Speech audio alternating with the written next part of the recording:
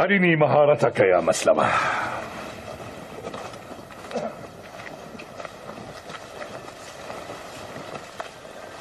السلام عليك يا خليفة المسلمين. وعليكم السلام. محمد بن علي وجعفر بن محمد. أهلا بكما ضيفين كريمين. وبكم يا خليفة المسلمين. شاركنا يا أبا جعفر.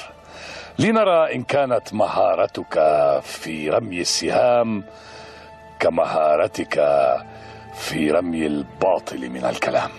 إني قد كبرت على الرمي فإن رأيت أن تعفيني تفعل خيرا.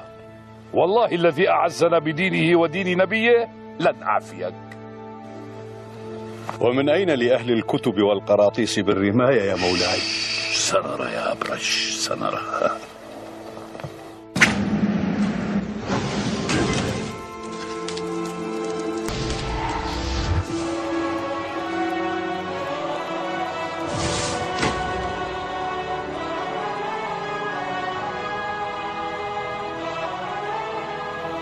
أحسنت يا أبا جعفر. هكذا هم شيوخ بني هاشم. أريدك أن تكمل.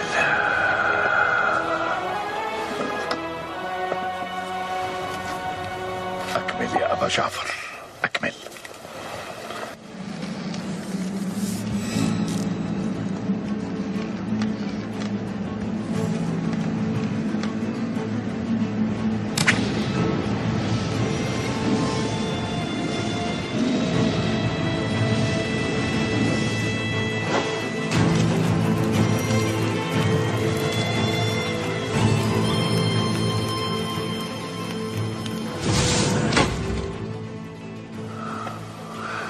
أجدت يا أبا جعفر أجدت Hisham ibn Abdul Malik, the caliph, he called Imam al Baqir alayhi salam all the way to Sham.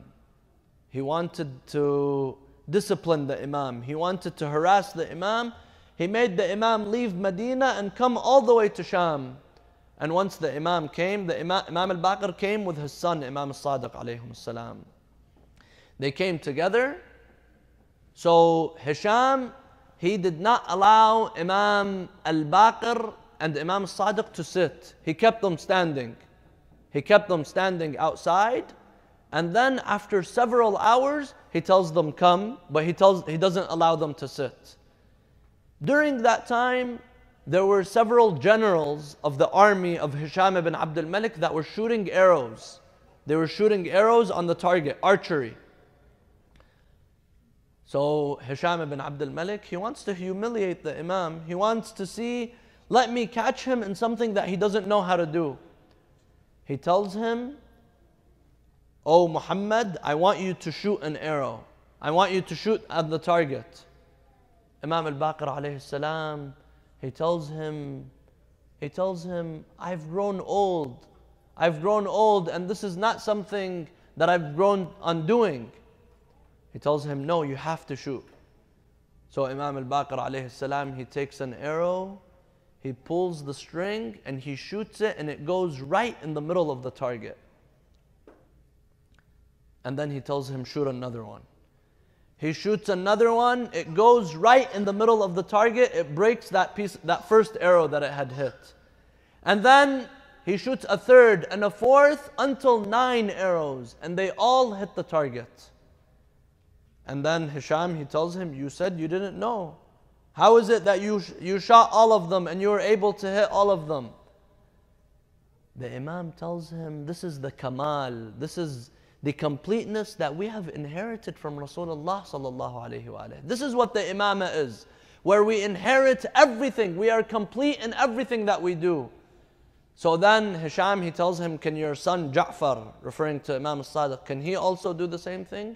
Imam al-Baqir tells him, yes, he could also do the same thing. And then he explains to him, he recites several verses from the Quran. He tells him how this is the, the knowledge of the Ahlul Bayt and being complete. This is something that we inherited from Rasulullah sallallahu alayhi wa alihi. This is something that Allah has given us. And he recited these verses from the Quran, وَجَعَلْنَاهُمْ أَئِمَّةً يَهْدُونَ بِأَمْرِنَا He recited to him that this is a position, the position of Imam is not just a normal position. Not anyone could come and say, I'm an Imam. You have to be appointed by Allah subhanahu wa ta'ala. You have to, you have to receive that guidance from Allah subhanahu wa ta'ala. So the majlis, there were many of the generals and the people of Sham, they were sitting there.